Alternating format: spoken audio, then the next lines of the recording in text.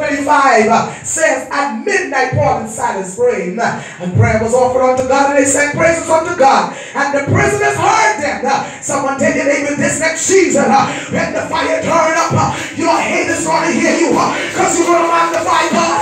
You're gonna see river. You're gonna bring up, bring up, bring up, bring up, bring up, bring.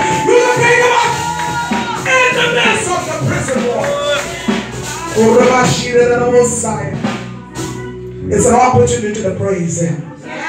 So stop hanging your head down. Hallelujah. Won't slap you in the spirit. Hold your head up.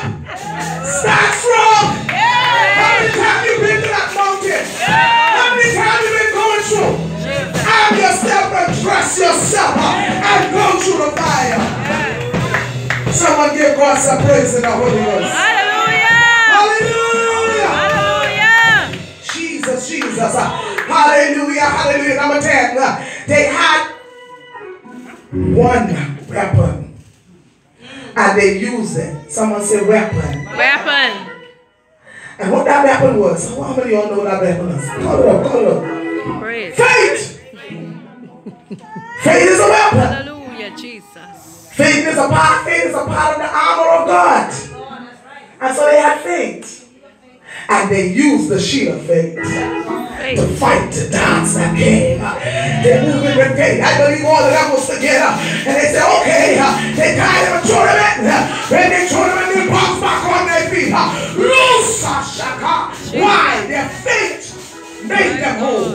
My God. And then you need faith, man. You need faith, man. Stop fighting with your mouth. Jesus. Stop fighting with your bad words. Mm, Jesus. Stop fighting Christians. Stop it. Stop it. Stop it. Stop fighting that sister and that brother by scandalizing them and causing discord amongst the brethren. God said he hated it. Use your weapon of faith to fight the enemy. When they talk bad about you, call you everything else but a child of God, what do you do?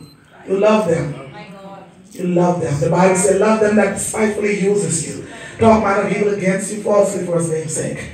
He said, great is your reward. Love them.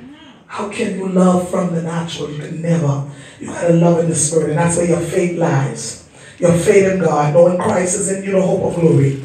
He enabled you to love. He enabled you to love your haters. He enabled you to love those who just finished pulling you down. Yes.